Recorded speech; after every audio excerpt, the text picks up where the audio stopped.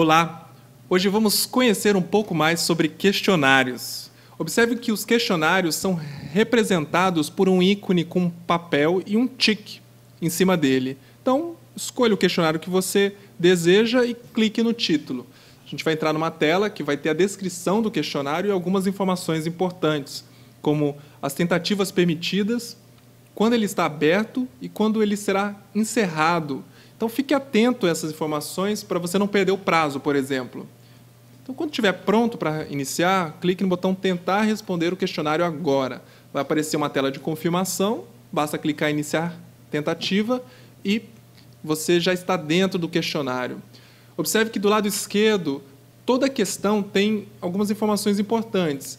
Ela informa se a questão já foi respondida, que nesse caso ainda não foi respondida, o valor da questão e ainda há esse ícone de marcar questão, que serve para você marcar a questão que te interessa. Então, por exemplo, se você tem dúvidas sobre uma questão e você quer estudar posteriormente, você marca isso.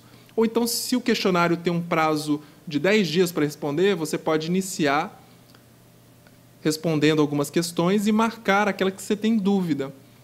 Isso tudo antes de você enviar o questionário para o tutor. Depois de enviado, você não tem como alterar, ok? Bom, a gente tem vários tipos de questões dentro do questionário. Uh, isso vai depender do professor, que tipo de questão ele vai elaborar. Aqui a gente tem um exemplo de questão discursiva, onde você consegue formatar o texto, alinhar, inserir imagens, links. Aqui a gente tem uma questão onde você precisa relacionar a coluna da esquerda com a coluna da direita.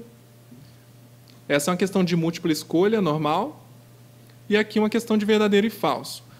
Assim que finalizar, você clica em próximo, mas ainda não está enviando para correção do tutor você vai ter essa tela de resumo de tentativas, onde você consegue saber a questão que você marcou, aquela que você tinha dúvida, ou que você quer estudar posteriormente, ela ainda não foi respondida.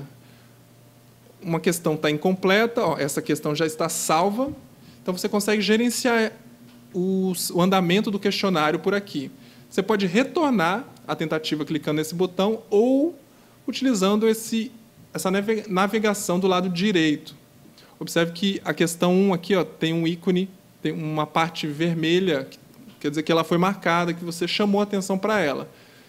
Depois que você finalizar o seu questionário e quiser enviar para o tutor, basta clicar no botão enviar tudo e terminar.